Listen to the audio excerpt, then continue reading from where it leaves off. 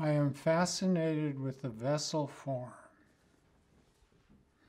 And that has been a big focus of my attention. While I've collected many things that are not vessels, I keep coming back to this form as something that really resonates with me. This is made of Japanese rice paper. Um, there's, there's two layers. There's an inner layer of small pieces, and then there is an outside layer where she cuts something out of a book